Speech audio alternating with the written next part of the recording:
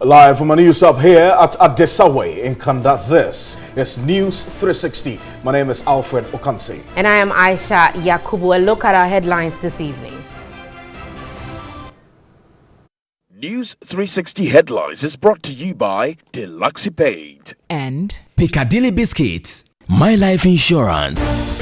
Residents of communities close to Kpone landfill sites fear contracting respiratory diseases following six days of inhaling smoke from raging fire.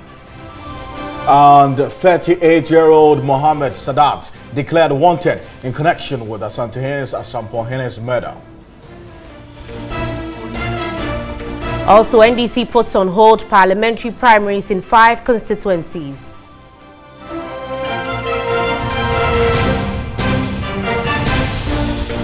National Communications Authority to retrieve and confiscate uncertified mobile phones and substandard communication gadgets from the market. Elsewhere in the world, Nigeria goes three years without a case of polio, putting it on the brink of being declared free of the disease.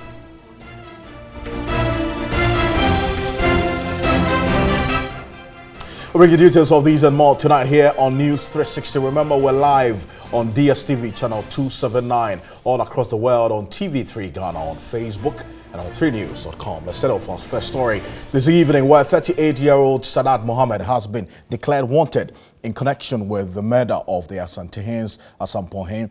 Sadat, also known as Alhaji, was last seen in the company of the late chief. Otumfuo's Asamoahene Nana Kojo Forjo was murdered by unknown assailants while traveling on the Jura in Kranza Road on Sunday, August 18. Sadat Mohammed alias Alhaji has been named in the suspected murder case. He is reported to have traveled together with the late chief until reports of his murder emerged. The Ashanti Regional Deputy Police Commander, ACP David Ajumanachim, told the media in Kumasi three persons have been arrested to assist in investigations. Sadat Mohammed has been declared wanted by the Ashanti Regional Police Command. And so we entreat any person who knows this gentleman, his whereabouts, or has any information on him to kindly come to us and provide that information. Meanwhile, four persons, two males and two females, have been arrested in connection with the murder of Corporal Bernard Intri, who was shot dead by unknown persons while on duty at Manso Nkwanta. Efforts are also underway to get some other persons who've been implicated in the um, incident. Some LPG consumers in Kumasi are requesting government to review the gas cylinder recirculation policy. This follows an indefinite strike by LPG operators over the implementation of the policy. The cylinder recirculation model policy is aimed at providing direction for marketing and distribution of LPG in a safe and efficient manner, as well as facilitate an increase in access to LPG nationwide.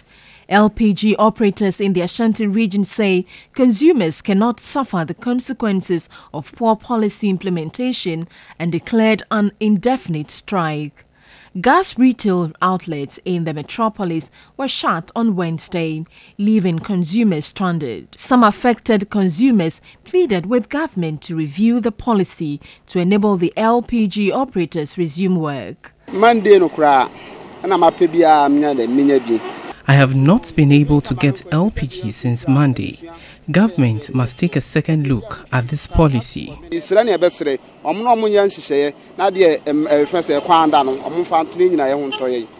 The Goil LPG outlets were, however, doing brisk business. Implementation of the recirculation policy will require siting of retail outlets out of the densely populated areas and commercial centers. But the operators say the policy will render many people jobless. Situation is on in Kumasi. We're recording some also in Shinyang in the Bunahafu region as well. Keep an eye on this particular situation with the gas uh, sellers who have been able to withdraw their services. The National Democratic Congress, NDC, has put on hold parliamentary primaries in five constituencies. At the news conference in Accra, the General Secretary of the party, Johnson Asiedu Nketia, said polls in the remaining 270 constituencies will go ahead on Saturday, August 24, as scheduled. The affected constituencies are Fanteakwa North, Asawase, Ellembelle, Mpohor and Hilokrobo. General Secretary of the party Johnson Asiedu Nketia pointed some challenges in the five constituencies necessitating a postponement in the elections. We have constituency-specific challenges. So it doesn't mean that all those that were cleared yesterday, uh, the election is not going to take place there. It doesn't, it doesn't follow. So uh, the problem that has come to our attention, we engage and deal with it uh, as and when we, we deal with the problem. Because of uh, certain challenges, we have had to put five constituencies on hold. That happened by a decision of the Functional Executive Committee meeting. He said the identification document for the election are voters' ID or any other national ID or the party's ID. He admonished delegates to comport themselves since the laws governing elections in the country will be applied. The punishment for flouting the rules uh, will be the same punishments for flouting electoral rules in the country because we are applying electoral rules. But besides that, if there are other party uh, rough and ready methods like denying you the right to vote, if you go and you go there to create problems and uh, I mean your presence there becomes too problematic for the smooth running of the process. I, I, I believe the police know what to do. The General Secretary said executives of the party will not be called to go against the party's constitution.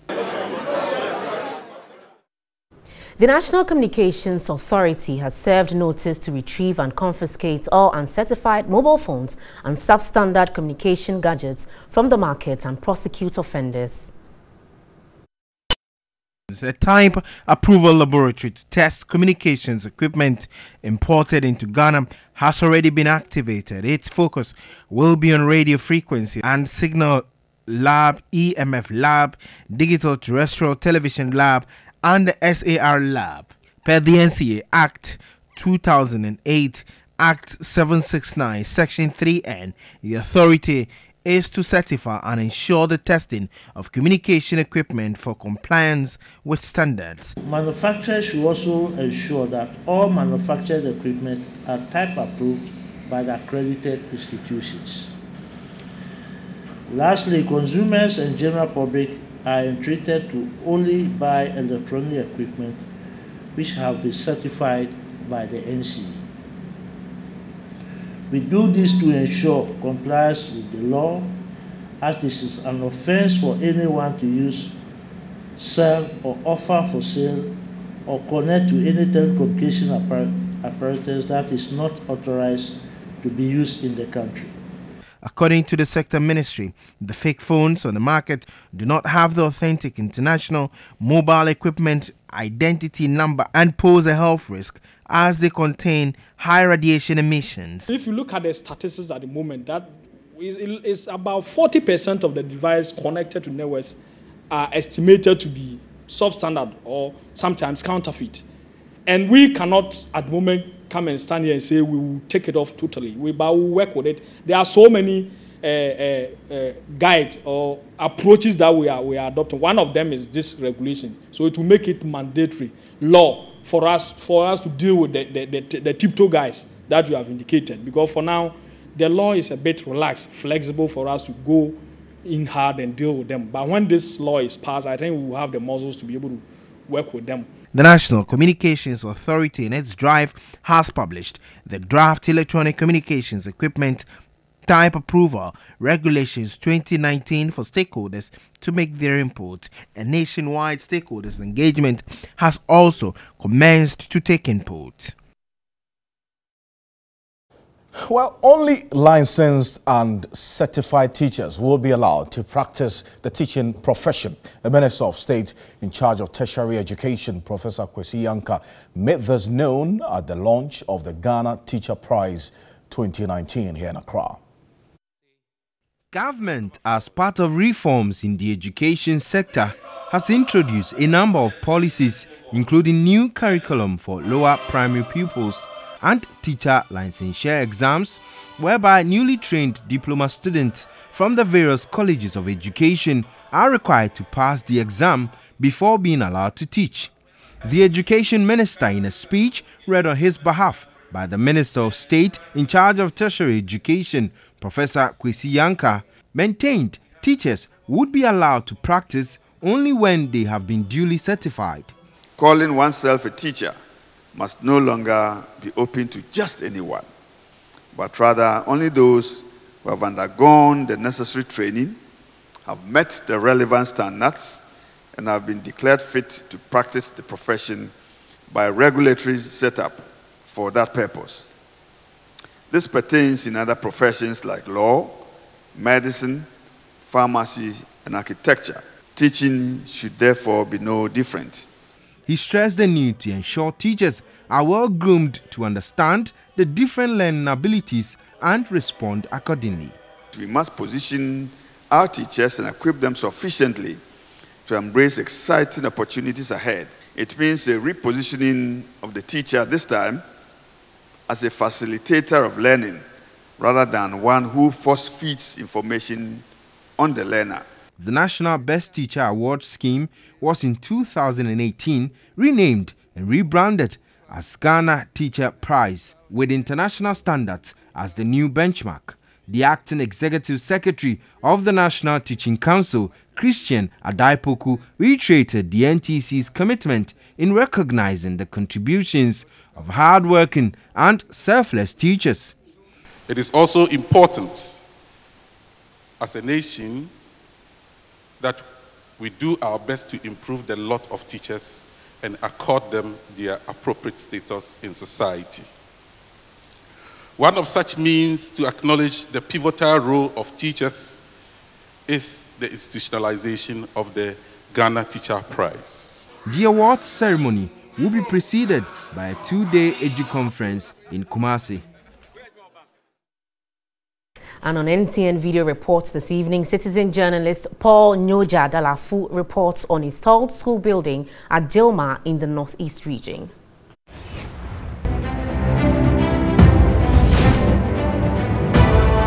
This incident, it happened in the year of 2016, uh, 15th June 2016. It happened by a heavy wind blew came and then it broke off the distance, the zinc and August now we are in 2019. The, the school too, as the conflict came, the students they stopped totally. That they cannot come and be sitting here without a master and without any support, so, someone supporting them to build up their talents. And the teachers of these schools who have left home and they never came back to see how the school is from now to now we are just there with no concern. We don't know what is going on about the school. And then the district too, they came and put another distructure. That was in 2018. A heavily wind break and then that one too has been down. And then the quarters it is it is through the people of the community that they are able to put out these things for the teachers to stay. Like Paul, you can also send us your video report via WhatsApp 0551 433 044. That's 0551 433 044. You're still live here on News 360. There's a lot more coming up tonight here on the news. We're live on TV3 Ghana on Facebook and on DSTV channel 279. Stay with us. We'll be back.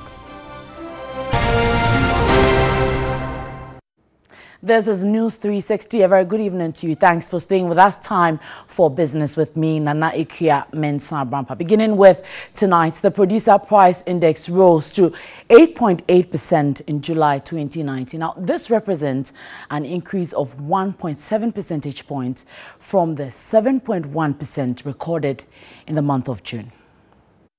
The increase in the PPI for July was driven largely by the mining and quarrying sector. For the year on year inflation, the mining and quarrying sector recorded the highest inflation of 27.6% in July. It was followed by utility subsector with inflation of 6.9%, with manufacturing recording the lowest inflation of 5.4%. The utility subsector recorded the highest inflation rate of 5.9%, followed by mining and quarrying subsector with 4.8%. The manufacturing subsector recorded the lowest inflation of 0.3%. The PPI measures the average cost at which producers manufacture products. Onto the banking sector now, and banking consultant Dr. Richmond Atuahene has cast doubt over the prosecution of persons found culpable in the collapse of some banks and financial institutions, despite the assurance by the governor. Now, he insists active and retired officials of the central bank whose actions and inactions led to the crisis should never be left out and should be there be any prosecution. The Bank of Ghana in the years before had acted responsibly and dealt with some of these issues like they should have done, we never have got to the situation where we are now. On the first phase of the banking scandal, 13 billion cedis had to come from public funds. Finding 13 billion cedis to support my budget is a major problem for me. The banking sector cleanup commenced in August 2017 Two years on, not much has been done concerning the prosecution of directors and shareholders and other officials of the collapsed banks. Though the governor of the central bank, Dr. Ernest Addison, has served notice of prosecution by the close of the year, banking consultant Dr. Richmond Atuahene says he has little confidence in the process. I have little confidence in that. That one I'll have to be very bold because you see, I always use the Nigerian experience. Mrs. Ibru, the owner of Oceanic Bank, he did a similar thing what has been done in this country. They charged him under fraud, financial fraud, and money laundering. He was sent to prison six months. And by the time he came back, her assets, buildings, including houses, have been sold, and they retrieved one billion euro, not one billion dollar euro, to defray the debt. 2017 up to now, what are we seeing? He insisted, should there be any prosecution, it should go beyond the shareholders and directors of the defunct banks and finance institutions. It is not only the shareholders, it is not only the directors. The licenses were not given to, it was not just a license people picked. Somebody signed and gave the license. All those people are, if are found culpable, must face the full rigors of the law, whether he's retired or whether he's active if he's found culpable, and I'm sure he'll be found culpable. He lauded the media for an extensive work done, which has subsequently allayed the fears of the public regarding the license revocation. He described the current situation as consequences of a 2014 warning by IMF and tasked the central bank to ensure the full compliance of directives and various regulations. Now, away from the banking sector, Media General and Kasapreko Company have pledged to sustain their partnership to impact positively on society. Management of Media General called on Kasapreko Company as it marks 20 years of its Alomo Bitters brand. The group CEO of Media General, Beatrice Agyeman-Abbey, who led the delegation, commended Kasapreko Company Limited for successes chalked and briefed its management on additions to the Media General platform. This is first and foremost to congratulate Alomo Bitters uh, for your 20 years. It's no mean feat achievement. I think you have done tremendously well. We are here to say a big thank you to you for doing business with us. It's been over as close as you have been in existence. We launched our new television station, which is Onua TV. We also launched Akoma, also in Ashanti region, which is um, our radio station there. And I know your brand is across the country, and so it's important that we tell you about, about that also. Chief Operating Officer of Media General, Winfred Afful, highlighted opportunities for partnership. With the programming for Onua TV, people always want things that will offer them inspiration, things that will give them empowerment, And so we've really, really done quite some huge research. In regards to TV3, um, we have one of our flagship program coming up, which is Mentor. Managing okay. Director of Kasapreko Company, Richard Ajay, commended Media General for expanding its reach and TV3 for being one of the pillars which has contributed to the growth of the Kasapreko brand. The business has ridden on the popularity of your stations and your platforms for some time now, and we hope that it continues. I am glad that you are also um, stepping up your game in the three um, platforms. So certainly we would also look at those platforms. He outlined new projects the company was embarking on. We um, are expanding into the Ashanti region. We are building up a new factory over there. We hope to launch it um, around November. The new factory also creates employment. We have also applied for the One District, One Factory. Um, this also to support um, the government's program. The company presented its new water brand, Smart Choice, to Media General. Well, you can visit 3news.com for more business update. That'll do for tonight. My name is Nanikia Mensah Alfred. Well, Nanikia, thank you for business. But it's not business as usual for the residents uh, of communities close to the Kpone landfill site. They fear contracting respiratory diseases following six days of inhaling smoke as raging fire wreaks havoc in the area. Though some residents have relocated, many are helpless and remain indoors. Josephine Frimpong has more. Communities including Kpone Kokompe, Seti Realty Estate, Kpone Affordable Housing, PS Global and other parts of Tema Committee 26 are still covered in smoke. On our previous visit, we met Kwabna Ewelda. He intended to relocate just like others, but he has aborted his plan. I wanted to relocate, but just as I planned, robbers invaded my home, so that prevented me. I'm afraid if I leave, my property will be stolen. He added that it's becoming more unbearable living in the community. My children have started coughing seriously at night. I'm worried they might contract some diseases. Others shared similar sentiments. Some of our friends who are asthmatic have relocated because of the smoke. Though the smoke being inhaled by residents could lead to an outbreak of diseases, officials of Environmental Protection Agency EPA says they are mapping up a plan to deal with it. NADMO also says the best they can offer is to advise residents to relocate. Those who are in their real homes, we will find a way to talk to them. Then maybe you have a family or relative somewhere, can go and then be with the person for us to make sure we were able to resolve that problem. Because NADMO, we don't have much to ask, oh, we will get a room for you, we'll get a place for you. No. Some companies located in the area have suspended the operations with their management who would not speak on camera, disturbed over the implications of their shutdown.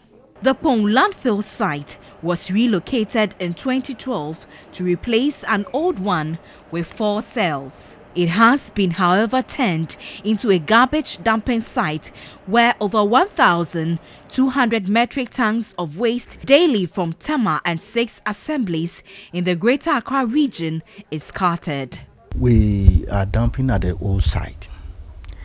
In fact, uh, we've already prepared ourselves against any such emergency. So, with the fire engine, as you can all see, we immediately move equipments to the old site and we are receiving waste at that site. So we don't have any challenge as to where to dump for now.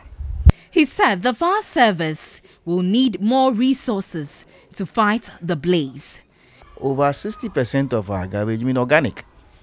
So this organic will decay. And uh, when organic decays, we have gas. Continuous generation of gas.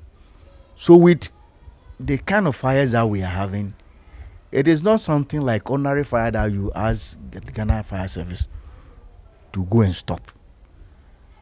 The best out of the situation is to control the fire within the landfill so that it doesn't spread to properties beyond the landfill. Josephine Frimpong, TV3 News. Now let's take a look at some of the effects air pollution can have on people, specifically the people at Boom. And it can lead to asthma, uh, also bronchitis and emphysema. Uh, it can also cause heart problems and even cancer or premature death. Also, um, air pollution can lead to fatigue, headaches, dizziness, as well as nausea. Air pollution is linked to more than uh, 28,000 premature deaths in Ghana every year. Also, mortality rate for air pollution in Ghana was about 203 for every 100,000 people in 2016, and this is according to the World Health Organization. Over to you, Alfred. It's bring to question the, the how clean the air we are breathing on a normal day is. So all these vehicular emissions are around. But graduates at the Accra Business School have been taxed to create jobs and to reduce unemployment in the country. At the school's seventh congregation ceremony here in Accra, President of the school, Bishop Gideon Titi-Ofei, encouraged graduates to establish and maintain the values of the school. Formerly known as the Graduate School of Governance and Leadership, the Accra Business School is accredited to offer globally recognized postgraduate, undergraduate, and professional programs. The school aims to develop a new breed of global business leaders who will be able to create jobs, increase incomes, and reduce poverty across Africa. The seventh graduation ceremony saw 160 students awarded degrees. President of Accra Business School, Bishop Gideon Titi-Ofei, challenged the graduating class to endeavor to venture into entrepreneurship to create jobs. We decided to create a school that can create job creators. So Accra Business School creates job creators. And this is evidence in the number of people we have added today. Our um, students have gone out of our campuses to go establish companies, made impact in this country. And we are very hopeful that today the people we graduated will do the same. The Dean of the school, Professor Elvis Cornerstone, outlined some new programs expected to be rolled out soon. We also expect that people will be trained in the area of research. The essence of this is to help them solve deeper problems within the country. At the end of the day, they are able to investigate further on their quest for knowledge and truth. The overall best student and valedictorian, Paul Nate, shared his experience on how the journey has been so far. They have a good program. I looked at the content of their program and I saw that this is cutting edge. It's not like uh, just academia, ramble, and all of that. So I could relate with the course content that it is innovative, it's cutting edge. Accra Business School is an affiliate of the Kwame Nkrumah University of Science and Technology, Ghana, Australian Institute of Business, Adelaide, Australia, and the Awards for Training and Higher Education, Norwich, UK. Now, Melcom Care Foundation, together with Accra Metropolitan Assembly, have embarked on an exercise to plant 1 million trees in Accra. The initiative is to beautify and build a resilient city and also improve air quality. The exercise intended to be a wake-up call for Ghanaians in general and residents in the metropolis in particular to promote activities to protect the environment also form part of Melcom's 30th anniversary celebration. The ultimate goal is to build a very resilient city and a very sustainable one where we will live in the city and have a very good air to breathe. I have committed the city to improving the air quality that we breathe, reduce pollution, and develop more carbon sinks as part of our climate change agenda that we have. According to Melcom, Accra's greenery needs to be restored despite the massive infrastructural development. When the last tree dies, they say the last man dies. The green in the national flag signifies greenery, an opportunity of good agriculture, nice environment, and so on and so forth, for sustainable living countrymen and women have destroyed consistently that green. We can revive it, regenerate growth. It will be good for our health. It will be good for the growth of this country. Melcom Group of Companies, founded in 1989 as a single department store in Accra, now has 42 branches spread across the country. Right, my name is Miriam Osei Ajuma. Let's do some entertainment news tonight. Now, President Akufo-Addo joined the chiefs and people of Jamestown, otherwise known as British Accra, to welcome Africans from the diaspora as part of the celebration of the Year of Return. The mini Durbar marks the 400th anniversary of the arrival of the first enslaved Africans in America.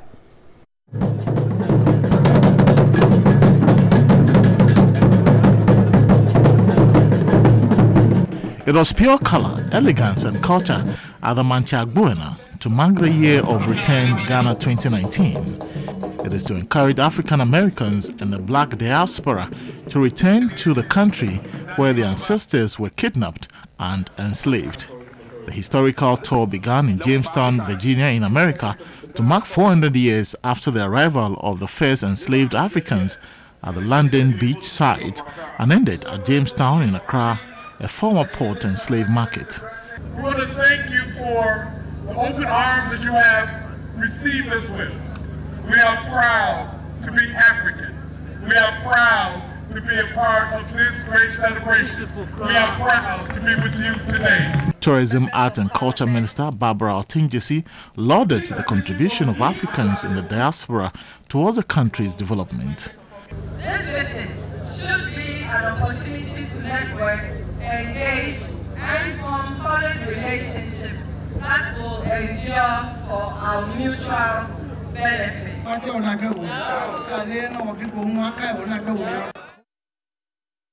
Now, the Ghana Armed Forces frowns on the unauthorized use of military uniforms by civilians.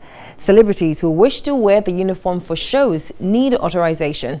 But Kumasi-based gospel musician Pa Boateng appears unaware of this directive.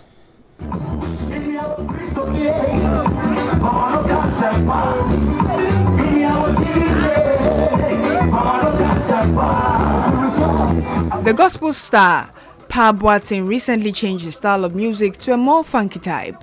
Beyond his style of singing, the Kokroko hitmaker appears to be on a mission to rebrand. The gifted singer was spotted performing in a military attire. It is no secret the military frowns upon the unauthorized use of the military type attire by civilians. The Ghana Armed Forces have warned that they will arrest any civilian found wearing attire that resembles military uniform, saying the trend has become a security concern. Celebs who wish to use the attire for shows are to seek authorization from the armed forces, but musician Pa Boateng finds absolutely nothing wrong with wearing the attire. Rather, he sees himself as a soldier of Christ. You appeared on stage in a military uniform, and this is something the Ghana Armed Forces has spoken against. Do you have permission? As you can see, I am a soldier of Christ. Every evangelist or anybody who is in to win souls for Christ or crusade you are a soldier, so I'm a soldier in the army of the Lord. Yeah, but then they have a policy that you need permission from them before you wear this. And there's a stern warning out there that all those who are seen in military uniform should be dealt with. No, no comment. And as you can see, I'm not in a complete Ghana military. Yes, it's, it's my it's my own outfit. Yeah. Yes. once it's a camo, they have a problem with it. And so when I saw you on stage, it came to mind that okay, so a fortnight ago they expressed this concern, and this powerful musician is wearing a camo. Does he have permission? No comment on that. We'll talk about this some other time. I want to know if that's a new look. No, you know that's a new brand you want. No, Pa Boateng is dynamic. Yeah. Maybe I can come on stage with Kente or something next time. You can't predict. I'm unpredictable. All right, thanks. That's Bob Boateng there defending his style. That's about it for entertainment news tonight. There's more news on 3news.com. I'm Miriam. Have a good evening. Uh, on behalf of the rest of the Simon, say thank you. My name is Alfred Ocansey. And I am Aisha Yakubu. Do have a good evening.